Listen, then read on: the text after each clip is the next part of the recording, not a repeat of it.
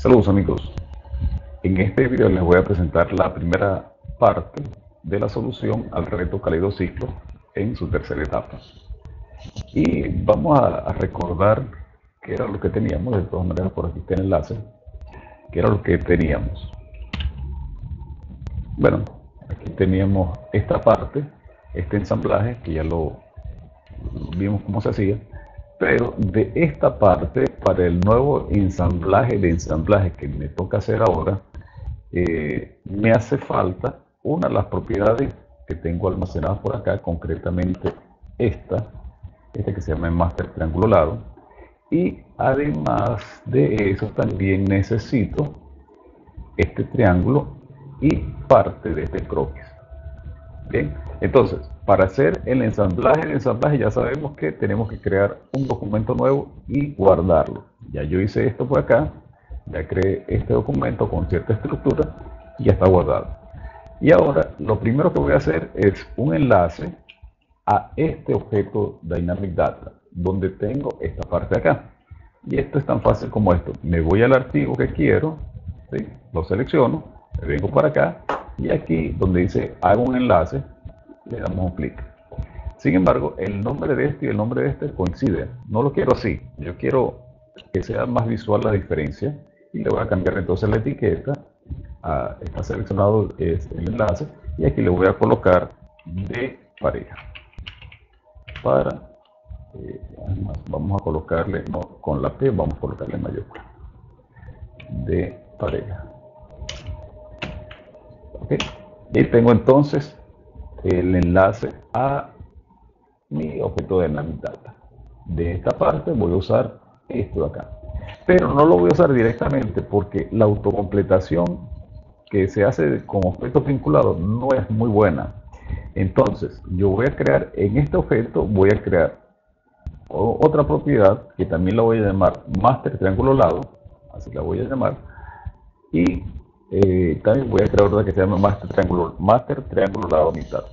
Entonces, me voy al banco de trabajo Dynamic Data y voy a decirle que creo una propiedad, ya le dijimos, master triángulo lado, master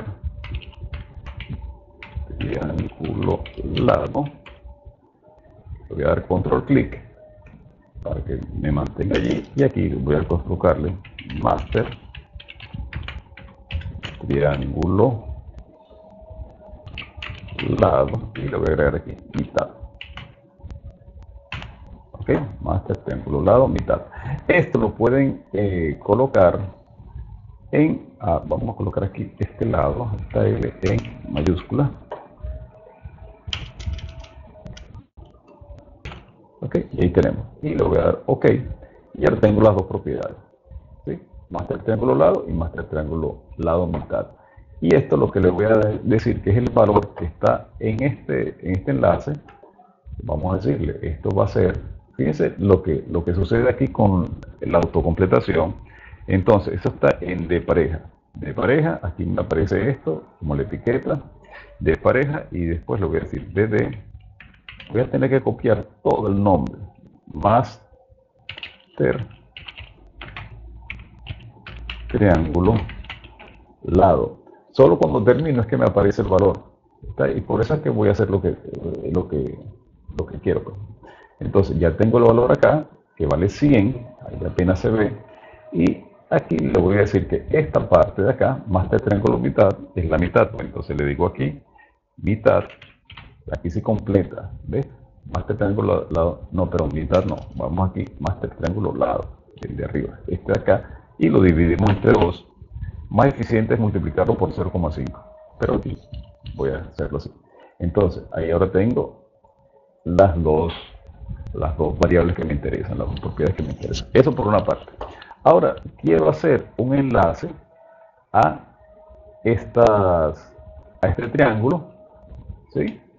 a la forma de este triángulo y a la de este de acá. Y eso lo voy a crear acá. Antes de hacer los enlaces voy a crear una carpeta, me voy aquí a, eh, a 4 y creo una carpeta, vamos a crearla acá y esto lo voy a llamar aquí para LCS. ¿sí? Ahí voy a colocar la información que me haga falta, que, me, que voy a usar para los sistemas de coordenadas locales. Entonces, me vengo para acá, selecciono el, el triángulo este, triángulo maestro, y ahora me voy a Part Design. Ya está seleccionado. Y creo una, un subshape binder. A este subshape binder le voy a colocar, le voy a dar otro nombre. Lo voy a llamar triángulo maestro. Entonces me vengo para acá y le cambio aquí el, nombre, este, la etiqueta. Entonces vamos a llamarlo triángulo maestro. Ok, ya tengo esto, pero además vamos a quitarle esto de que haga la cara. Y make face, digamos que es falso. Y tengo esta parte. ¿Qué otra cosa me hace falta? Bueno, me hace falta estos dos segmentos que están acá. Entonces, selecciono aquí, control selecciono acá y le digo que cree otro subshape binder. Ahí lo tenemos. Y a esto le vamos a llamar, yo lo voy a llamar central.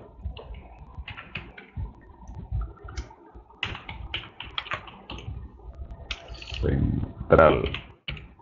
Ok, y con esta información ya puedo empezar. Pero lo que va a hacer es lo siguiente. Esto que está acá y esto que está acá, que lo voy a usar para los LCS, lo voy a colocar aquí. ¿Está bien? Y así el árbol se ve más simple, más fácil de, tratar. Bien, ahora me vengo para acá. Voy a crear un, eh, un croquis para apoyar los, los sistemas de coordenadas locales que me, van a hacer falta para hacer mi ensamblaje. Fíjense, todo esto es necesario, aunque la creación de, la, de los sistemas de coordenadas locales, después que hagamos todo esto, va a ser inmediata. Vamos a hacerlo. Entonces me vengo aquí y creo este croquis. No, ahí le di donde no era. Vamos a deshacer esto y me vengo acá.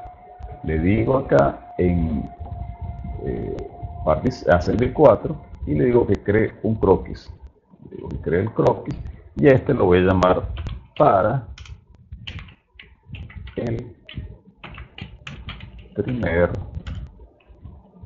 para el primer LCS. Y esto lo voy a colocar en el plano eh, XZ. Vengo para acá, lo ubico aquí y le digo que lo coloque en el plano. Es más, vamos a hacer una cosa. En lugar de hacerlo así, me voy a apoyar en este triángulo y le voy a decir que lo haga en el, en el objeto X, que sea un objeto XZ. Ahí está lo que, lo que significa eso. Y le doy aquí, ok. Con eso estoy asegurando que el X, este va a estar en el plano XZ de este objeto. Bien. Ok, vamos a terminar esta parte. Así. Voy a ocultar. No, no lo voy a bajar. Y ahora voy a editar esto. Doble clic. Y voy a crear lo que me va a hacer falta para el, el primer sistema de coordenadas local. Entonces, voy a una geometría externa acá, por una parte, y también voy a crear aquí un enlace a esta geometría externa de acá. Entonces tenemos dos. Y ahora voy a crear un par de segmentos, uno para acá y otro para acá.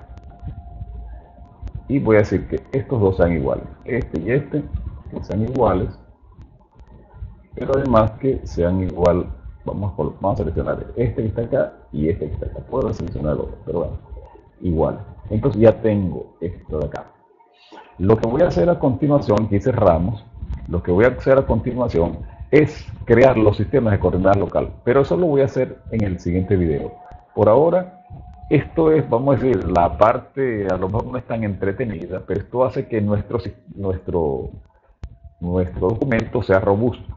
¿Está bien? Y que solamente cambiando un valor, ¿sí? por ejemplo en el caso del lado del triángulo maestro, se reestructure todo. ¿Está bien? Entonces, yo voy a dejar esto hasta aquí y en el siguiente video voy a crear los sistemas de coordenadas local. Entonces, bueno, como siempre, si esto les ha parecido, si les ha gustado, los invito a que se suscriban a mis canales y que eh, le den a la campanita para que les avise y sobre todo que compartan. Saludos y nos vemos en el próximo video. Hasta luego.